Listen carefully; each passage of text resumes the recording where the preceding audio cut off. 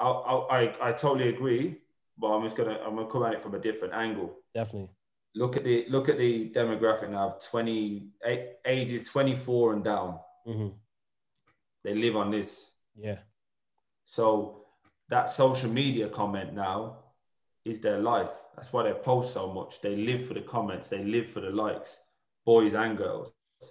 So I was in a call uh, every day is the same now. A couple of days ago, anyway, with, uh, with with government and a few other guys on it, saying that there has to be governance from government to these social media guys to say it's not acceptable because the same way they can track down or they can see tweets and see where the where to put advertisements and all the algorithms for that. You're telling me they true. can't do that with racism. Very true. A- And So- and when I say that statement, look what happened at in, in the Capitol in DC, how they stormed the building, right? So 100%. so if you know what Trump's been doing for four years, this is the outcome, right? Is is that Mhm. it- it is powerful. So so you're absolutely right, man. Of course, so we we have to we have to do that, and we do have to address it.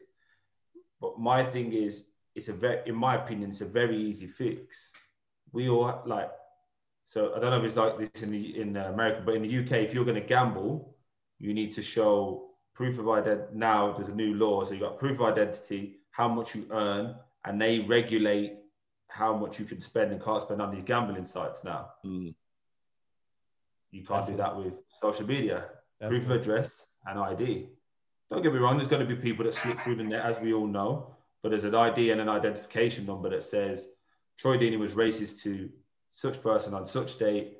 Bang, that's where he lives, and we can now do we can now do criminal um, proceedings because Powerful. we, we got abused, like me and my partner, after we played Wolverhampton in the semi final of the FA Cup. And I scored uh, scored in, in the last minute, well, the last kick of the game actually to make it extra time, and we won in extra time. And we got racially abused by, I want to say, 90% of Mexico. Like death threats, this, that, and the other, like people from Wolverhampton, like just not even not even cool. Like I'm not a social media dude, so it doesn't really affect me. But every post was monkey emoji, nigger this, blah blah blah, all the way down for like you can just keep doing it. You know, you can do that and you can just see it. Now, I don't. It doesn't affect me as I say because I don't live on my social media like that. But how is that on someone's partner? By all all she's done is going out with me.